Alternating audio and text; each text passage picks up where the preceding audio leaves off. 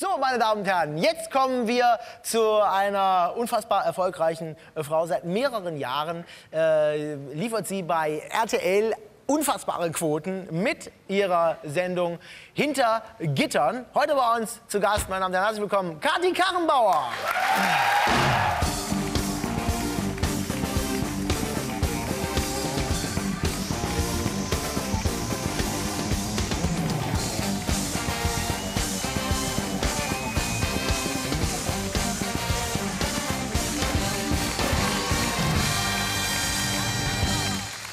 Herzlich willkommen. Hallo. Die wunderbare Kathi Karrenbauer. Ja, Ja, da sind wir. herzlich willkommen. Herzlich willkommen. Wie geht's? Wie Stefan. sieht's aus? Geschenke ja, dabei? Ja, ganz Nein, viele. echt? Doch, Warum? weil du hast ja schon darauf hingewiesen, dass äh, Weihnachten steht vor der Tür. Genau. Also das musst du jetzt noch nicht lesen, aber ähm, du musst eine von diesen Karten ziehen. Wie, ich sehe nur eine. das ist der Trick. Ach so, das ist der Trick. Ah. Okay, zieh eine von diesen ja, Karten. Und dann? Und dann musst du drauf gucken. Hinten. Äh, auf die andere Seite. Auf die andere Seite. Das ist die sogenannte Arschkarte Das übrigens. ist die Arschkarte? Ja, die hast du ja irgendwie gezogen. Ach, guck mal, wie süß. also nicht, Hier. weil ich heute bei dir bin, Frohe sondern... Weihnachten von Kati. Genau. Ja, wo gibt's denn Also. Die Arschkarte. Wie, wie, ich krieg noch was? Ja, du kriegst jetzt dein Geschenk. Nein. Stefan, trau dich. Ja, okay. Ähm, ich habe gerade vorhin eine ganz schreckliche Geschichte gehört. Wie? Irgendjemand hat dir mal Kakerlaken geschenkt. Ich wollte dir nur sagen, es sind keine drin. Ja, das stimmt. Das muss ganz gruselig das gewesen war, sein. Das war dieser, dieser Typ, wie heißt der, der bei Sat1 diese... Franklin. Franklin, genau. Ja, der hat mir die nicht geschenkt, der hat die einfach in seinen Haaren mit hier reingebracht. Du musst das ein bisschen vorsichtig aufmachen, aber du darfst beginnen. Ist was, lebt, lebt es? Nein, es lebt nicht. Soll ich raten? Ja, das hat auch einen Sinn, warum Was, ich dir was, das was hat das mit Traudig zu tun? Das ist. Ja, pass auf. so Also ich Traudig- habe so ein Traudig, das ist äh, das neue Album. Ach, das ist ein neues Album. ja, das das heißt letzte war ja sensationell erfolgreich. Wir Ja, haben da ja hier damals 180.000 drüber gesprochen. genau. Das ist unfassbar. Du hast, du hast selbst da drauf gesungen und auch... Ähm, wenn du es schüttelst, könnte es Probleme kriegen. Also weil es dann durcheinander wird vielleicht. Ach Guck so, auf den ersten äh, Moment sieht es aus wie eine Tretmine, ja? Aber Es ist eine Filmrolle. Also es ist, ja, ich, ich versuche mal zu öffnen. Was? ja, stell's ruhig hin. Ist, ist es gefährlich? Nee, es könnte nur... Kommt irgendwie sowas Lustiges Nein. so... Irgend sowas? So ein Teufelchen. Ist Das ein Scherzgeschenk? Ich finde immer spannend, das zu raten. Das macht mir so einen Spaß. Okay. Was könnte es denn sein? Naja, gut, das kann ja eine lange Sendung werden. Ne, ne, Ist es was? darf, ich, darf ich raten? Du Ähm, ja, sagst bitte. immer ja, nein? Ja, bitte. Ja? Ähm, ist es was zum. Ist es eine Überraschung? Wow! Ja? Ja, ich glaube, es ist ja. für dich eine Okay, Überraschung. lass mir nur ja oder nein sagen. Äh, i- i- ist es auch was zum Naschen? Ja. Äh, ist es Schokolade? Ja.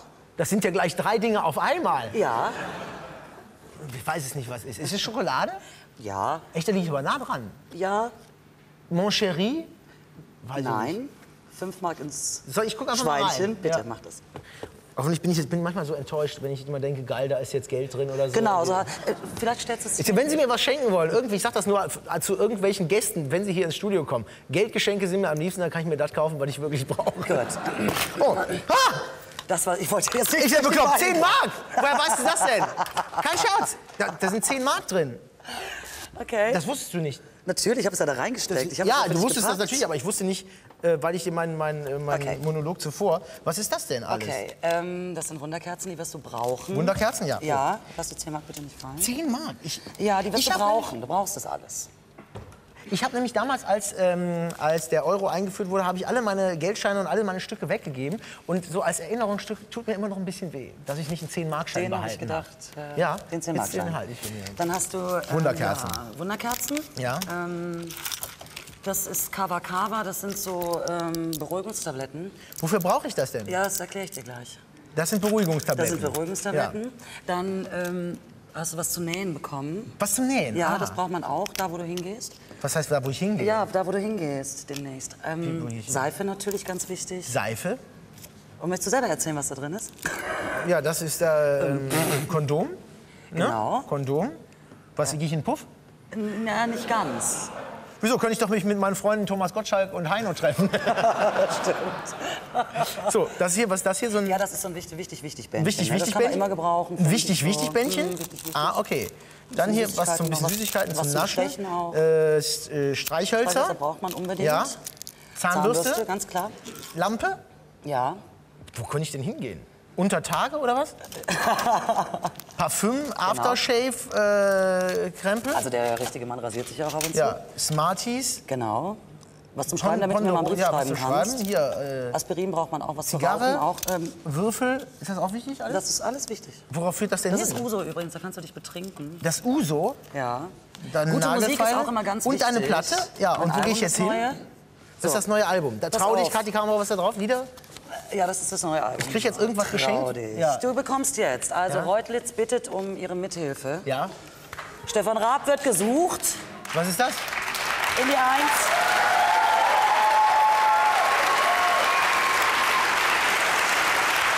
Ich habe mir Folgendes überlegt. Ja.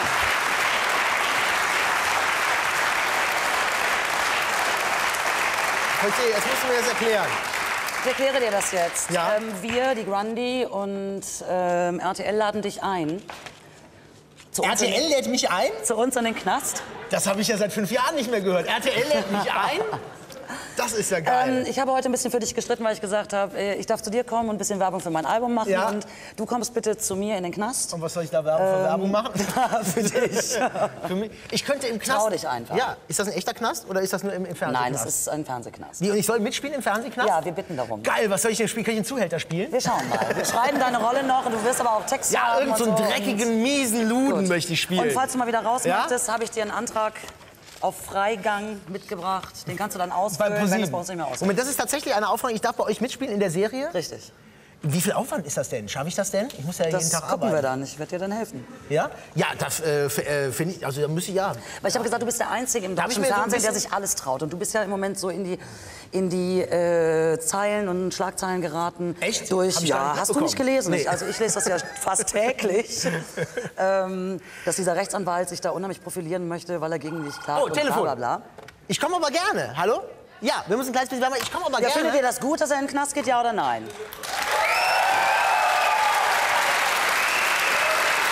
Ja, Ich habe gedacht, da kannst du dich schon mal ein bisschen darauf vorbereiten. ja. Gute Du kannst Idee. es dir noch überlegen. Du musst nicht. Doch, ich finde das eine super Idee. Ja, wir, machen, wir müssen ein kleines bisschen Werbung machen. Bitte. Da sprechen wir gleich noch ein bisschen drüber. Okay, ich nehme diese offizielle Einladung hier, äh, aber nur wenn, wenn äh, ich habe ja bisher nie sowas gemacht, irgendwo mitgespielt und so, weil ich bin ja, ich, weil ich mich persönlich für einen unfassbar schlechten Schauspieler halte. Ich, finde, du bist ein grandioser Schauspieler. Nein, ich kann, nein, ich kann nur machen. hier sitzen und Quatsch erzählen, aber äh, Das machen wir auch. Ich habe das mal, äh, ich war früher mal bei Samstagnacht öfter zu Gast, Okay. bei RTL Samstagnacht und da musste man ja so Sketche spielen und da fand ich mich immer grauenhaft, ja. Und deswegen habe ich sämtliche Film und sonstige Angebote bisher abgelehnt. Aber wenn ich das, also ich kann halt nur mich selber spielen, deswegen möchte ich halt auch einen Zuhälter spielen, ja. deswegen, also sowas könnte ich mir vorstellen. Wenn, wenn wir das in einem Tag äh, erledigt kriegen, einen Dreh, Das kriegen das wäre super. Wieso ist da ein 10-Markschein drin? Zahlt man im Knast noch mit Mark? Nein, nicht wirklich. Aber ich habe gedacht, das ist noch mal so die Reminiszenz an die gute alte Zeit. Und äh, unser Knast ist ja auch schon ein bisschen veraltet. Und da gab es die D-Mark nämlich noch. Und deswegen äh, die 10 Mark. Damit hast- kann man sich ein bisschen freikaufen. Hast du mal drüber nachgedacht, wenn du, äh, du, wenn du hier singst und spielst und äh, mit deinen Titeln auch mal im Knast aufzutreten, also im richtigen Knast? Ja, das sollte jetzt eigentlich am 21. in Herford stattfinden mit Ach, einer Knastband. Ich soll dich übrigens auch, ich habe heute wieder eine E-Mail auf den Rechner bekommen, vom Knastradio grüßen. Knastradio in Osten. Die haben Hallo, heute noch Freunde. geschrieben, es ist also angekommen äh, und ähm, die haben mich um Unterstützung gebeten und hätten mich gerne als Schirmherrin und hätten dich auch gerne als Schirmherr. Was, das im Knast, im Knast Musik zu spielen? Genau, die machen einen Kna- ein Knastradio seit über einem Jahr und jetzt fehlt eigentlich äh, Peanuts an Geld, Wie, um dieses Knastradio äh, weiterzumachen. Ah, tatsächlich? Und der Michael Ballack hat sich da schon eingeklinkt. Äh, Was, Sportler. der sitzt auch im Knast? Nein, der hat sich tatsächlich äh, finanziell scheinbar daran beteiligt. Und Ah. ich finde das aber eine super schöne Idee. Das ist eine super Idee. Ich habe schon mal, ich hab schon mal darüber nach, tatsächlich schon mal darüber nachgedacht, mit meiner Band äh, ein Konzert im Knast zu spielen. Dann kommen die auch immer, immer wieder dahin, wo sie herkommen. Ja? Und Genau, ja, ja. mit so einem ganz besonderen Programm, weißt du?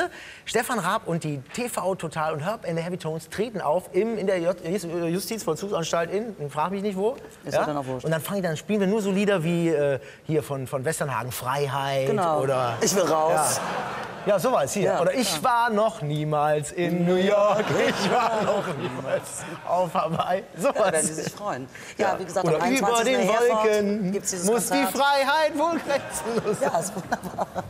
Haben die. Humor da im, im Knast oder Ja, schon, wird man dann muss man dann direkt da Ich war ja nicht so lange da, wollte ich gerade sagen. Nee, schon. Das ist, äh, viele sind da sehr gut drauf.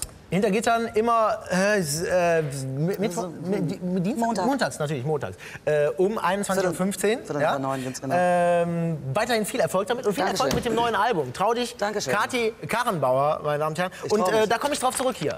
Ich bitte darum. Darf man das Komm. so ein Konzert im Knast auch aufzeichnen? Ähm, es kommt drauf an, in welcher Das JVA du mal- bist. Also, Das finde ich mal eine lustige... ich kann ja auch noch Kontakt machen zu einem anderen Typ. Falls es eine JVA gibt, die gerne hätten, dass äh, meine Band und ich dort auftreten und wir das Konzert dort aufzeichnen dürfen und nicht nachher nach äh, da bleiben müssen, ja, melden Sie sich bei uns. Alles klar. Vielen Dank, Kathi Dankeschön für